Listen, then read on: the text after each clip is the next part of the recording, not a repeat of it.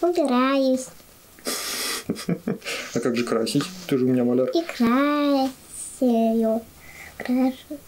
В папиной столярной мастерской у Пелагеи есть даже своя должность – маленький директор. Под ее чутким контролем здесь укращают дерево. Мастерить настоящие шедевры даже из обычного бруска Игорь Улюшев научился от своего отца. Игрушки, блокноты, минажницы и все с легкой руки умельца. На расхват – разделочные доски. Это, как отмечает ремесленник, тренд всего года. А еще мишки. Самой первой их обладательницей стала дочка, а уже за ней и половина Ульяновска.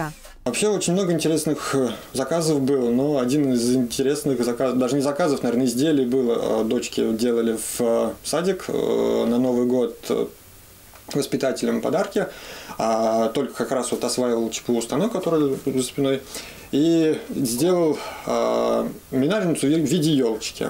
Станок, о котором идет речь, появился в мастерской не так давно. С финансированием помог соцконтракт и молодежная программа «Бизнес-поединки». Машина полностью отечественной сборки, а потому производство не зависит от перепадов в экономике. Испытать чудо техники Игорь уже успел. Сперва на компьютере рисует нужную деталь, а после переносит на станок скажем так, коллега попросил изготавливать такие вот заготовки под зеркальце, ручные зеркаль... зеркальца.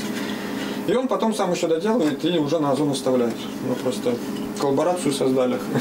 Со станка изделия сходят не в финальном виде. Нужна шлифовка, защитное покрытие, а это уже вручную. Семейная мастерская отдушина для Игоря. Название придумал сам – «Деревяшкин пес». Изначально было просто «Дейзи» в честь любимой собаки. Творить приходится и по ночам, но когда сердце занято любимым делом, часов не замечаешь. Потому что у меня основной вид, основной вид деятельности, я работаю в школе, а, очень много все-таки моральной нагрузки, а здесь э, морально отдыхаешь, думаешь только об одном, хоть физически, может, и тяжело, но этого не замечаешь. Все-таки самый тяжелый труд – это моральный.